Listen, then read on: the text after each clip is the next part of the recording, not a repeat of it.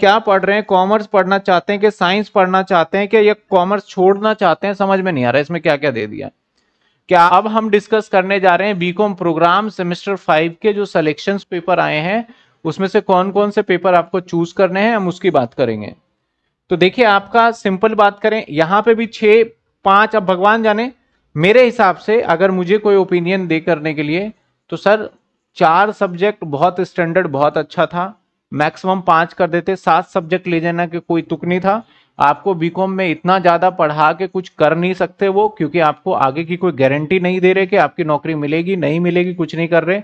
Unnecessary के चौदह चौदह सब्जेक्ट और वो सब्जेक्ट जिसका कोई लॉजिक नहीं है, कोई तुक नहीं है, वो बस डाल दिया इन्होंने। मेरे हिसाब से तो चार या पाँच सब्जेक्ट एक सेमेस्टर में इनफ था, और पहले भी सीबीसीएस में चार ही सब्जेक्ट हुआ करते थे, जो बेटर था। ज़्यादा बच्चे परेशान नहीं होते थे। अब देखो, यहाँ पे आपको अगेन देखोगे तो एक इनकम टैक्स और इसके साथ बिज़नेस इकोनॉमिक्स और मैनेजमेंट अकाउंट ये तो कोर सब्जेक्ट है। कोर सब्जेक्ट का मतलब क्या होता है कि इसके अंदर आपको कोई ऑप्शन नहीं दिया जा रहा, ये तो आपको पढ़ना ही पढ़ना है। जो बच्चे बीकॉम प्रोग्राम वाले हैं सेमेस्टर फाइव वाले, मैं उसकी बात कर रहा हूँ, ये तो पढ़ना ही पढ़ना है उनको सब्जेक्ट बाकी चॉइस जो मिला है, इसमें मिला है डीएससी वाले सब्जेक्ट में मिला है। यहाँ कॉमर्स ऑर्गेनाइजेशन बिहेवियर है फाइनेंशियल मार्केट एंड इंस्टीट्यूशन है। तो आपके पास ये दोनों सब्जेक्ट जो है ऑर्गेनाइजेशन बिहेवियर इसका भी आपको स्टडी मटेरियल मार्केट में मिल जाएगा। फाइनेंशियल मार्केट एंड इंस्टीट्यूशन इसका भी स्टडी मटेरियल मार्केट में मिल जाएगा। बेटर आपको मैं बताऊँ कि किसका ज़्यादा और किसके ज़्यादा कंटेंट आपको मिल सकते हैं, वो मिल सकता है ऑर्गेनाइजेशन बिहेवियर क्योंकि ऑनर्स के अंदर भी है और प्रोग्राम में भी है। तो पब्लिशर उसी बुक को लेके ज़्यादा से ज़्यादा देखता है, जो कि कॉमन हो और ज़्यादा से ज़्यादा मार्केट में वो पब्लिश करके बेच पाए। तो आपको ये ऑप्शन सेलेक्ट करना चाहिए इसमें। अब मेरे ख्याल प्रोग्राम में हर बच्चों के पास ये आ रहा हो, अगर किसी बच्चे के पास ये पेपर नहीं आ रहा तो आप ज़रूर कमेंट में भी बताना। और ताकि मैं देख के एक और वीडियो बना दूँ इसके ऊपर। जी के अंदर इतने ऑप्शन दे दिए ना, जितने आप पता नहीं क्या क्या सोच के इतना ऑप्शन दिया, भगवान जाने।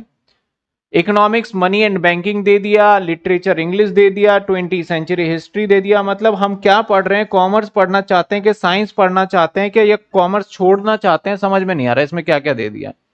क्या आप आपके कॉमर्स के फ़ील्ड मैथमेटिक्स दे दिया? बहुत सारी चीज़ें एजुकेशन लैंग्वेज ये भर दिया है। भैया, आपके पास इसमें एक ही ऑप्शन बनता है, सिर्फ़ और सिर्फ़ इकोनॉमिक्स मनी एंड बैंकिंग बात खत्म।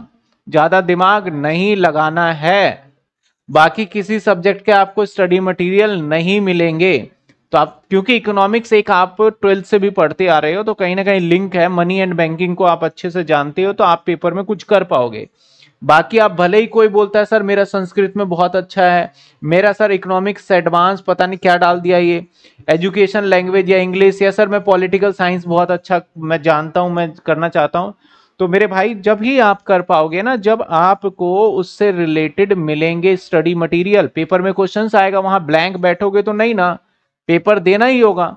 तो इसके अंदर आपको ऑप्शन सेलेक्ट करना चाहिए money and banking paper number छह की बात करें तो छह में आपको ऑप्शन मिल गया, कम, एक मिल गया फाइनेंस फॉर एवरीवन इसका स्टडी मटेरियल मार्केट में, जिसको लेना है ले सकते हैं, जिसको नहीं लेना। और ये मेरे ख्याल ना ऑप्शन एज पर जो आप प्रीवियस से चूज़ करते हुए आ रहे हो, उसके अकॉर्डिंग मिलेगा हर किसी को। इसके बाद अगला है हमारा कंप्यूटर साइंस भैया, मत लेना कंप्यूटर साइंस क्योंकि देखो, वो चीज़ें लो जो आपके काम और कनेक्टेड है। इसके बाद आपका है पर्सनैलिटी डेवलपमेंट एंड कम्युनिकेशन तो एक बार को बुक्स इसकी मार्केट में है और एस की साइट पे भी इसकी बुक अवेलेबल है तो उससे आप हेल्प ले सकते हो। कुछ बच्चे सोचेंगे सेमेस्टर टू में पर्सनैलिटी नहीं, आपका सभी का सेम ही रहने वाला है बुक फिर से आईटी टूल नहीं लेना तो मैं इसके अंदर आपको सजेशन दूँगा फाइनेंस फॉर एवरीवन अगर आपको अकाउंट्स अच्छा लगता है। नहीं अच्छा लगता तो सिंपल सी बात है, आप ये ले लीजिए आप, और पर्सनैलिटी एंड डेवलपमेंट जिससे कॉमन कॉमन चीज़ें वो पढ़ सकते हैं।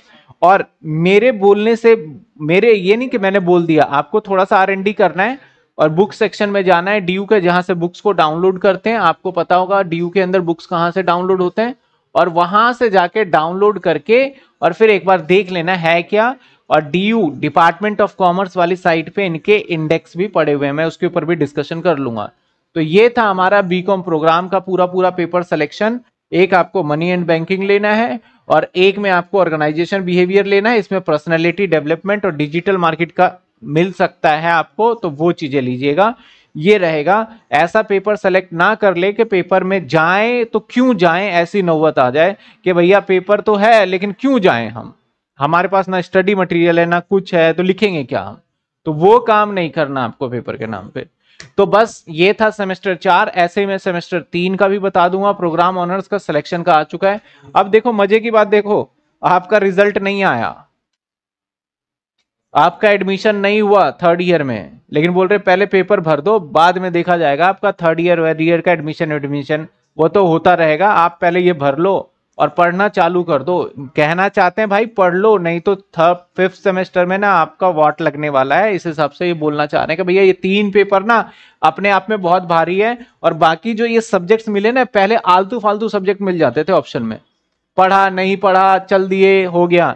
लेकिन अब ये सब्जेक्ट्स भी ऐसे दिए हैं जो कि पढ़ने वाले हैं। अब कुछ बच्चे कह रहे हैं, सर, पाँच ही, छह ही सब्जेक्ट होंगे। तो अब छह होंगे, पाँच होंगे, वो ड्यू जाने का अभी तो छह है। सातवा क्या देता है? वो टोटली डीयू के ऊपर डिपेंड करता है। रेगुलर कॉलेज के अंदर काफ़ी सारे ऑप्शन चेंज हो जाते हैं। तो रेगुलर वाले बच्चे तो अपना लाइक like, जैसे कि फॉर एग्ज़ाम्पल वहाँ पे आपको ऑडिटिंग का भी एक अच्छा सब्जेक्ट मिला हुआ था लेकिन एसओल वालों ने नहीं दिया। तो रेगुलर का हर बच्चे का अपना अलग अलग क्राइटेरिया सेट होता है। कॉलेज वाले अपने अकॉर्डिंग देते हैं अपने प्रोफेसर के अकॉर्डिंग देते हैं जो अवेलेबल होते हैं उस कॉलेज के अंदर। तो मैं रेगुलर का इसलिए मैं वीडियो नहीं बना पाता कि बताऊँ तो बताऊँ क्या। बाकी ये सब्जेक्ट्स है इसमें से ये सब्जेक्ट्स रहेंगे। बेटर जो आप सेलेक्ट कर सकते हो। बाकी मैं एक बार ऐसा करूँगा, एक और वीडियो बना दूँगा, जो रेगुलर वाले बच्चों को थोड़ा हेल्प कर पाए। चेंज अगर ले लिया हो तो चेंज करा सकते हैं।